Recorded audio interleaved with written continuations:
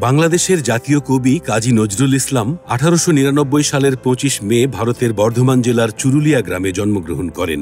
কবি নজরুলের সাহিত্যে অসহায় ও নিপীড়িত মানুষের প্রতি সমবেদনার পাশাপাশি অন্যায় ও শোষণের বিরুদ্ধে ফুটে ওঠে বিদ্রোহ।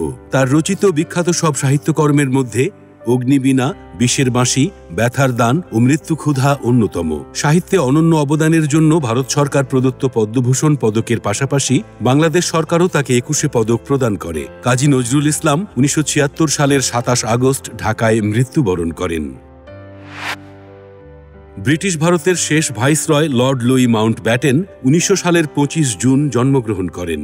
ব্রিটিশ রাজপরিবারের সদস্য এই সাবেক ব্রিটিশ নৌ অফিসারকে উনিশশো সাতচল্লিশ সালের মার্চ মাসে ব্রিটিশ সরকার ভারতের গভর্নর জেনারেল করে পাঠায়। একই বছরের মধ্য আগস্ট পর্যন্ত এই পদে আসীন থাকেন তিনি। ভাইসরয় হিসেবে তার গুরুত্বপূর্ণ সিদ্ধান্তের মধ্যে সর্বাধিক উল্লেখযোগ্য হচ্ছে উপমহাদেশের বিভক্তি এবং ভারত ও পাকিস্তানের কাছে ক্ষমতা হস্তান্তর। মাউন্ট ব্যাটেন উনিশশো উনআশি সালের সাতাশ আগস্ট আয়ারল্যান্ডে তার নৌযানে এক বিস্ফোরণে নিহত হন।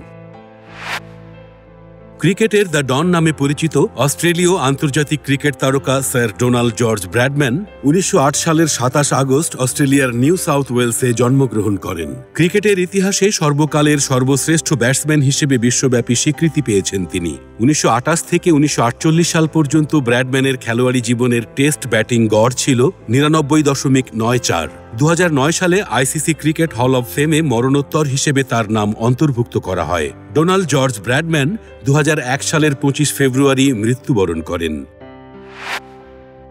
জার্মান রসায়নবিদ ও প্রকৌশলী কার্ল বস আঠারোশ চুয়াত্তর সালের সাতাশ আগস্ট জন্মগ্রহণ করেন। জৈব রসায়নের গবেষণার জন্য আঠারোশো আটানব্বই সালে তিনি ডক্টরেট ডিগ্রি অর্জন করেন। কার্ল বস বিশ্বের বৃহত্তম রাসায়নিক সংস্থা আইজি ফার্ভেনের প্রতিষ্ঠাতা। উচ্চ চাপের রসায়ন প্রবর্তনের জন্য উনিশশো একত্রিশ সালে তিনি ফ্রেডরিক বর্গিয়াসের সাথে রসায়নে নোবেল পুরস্কার অর্জন করেন।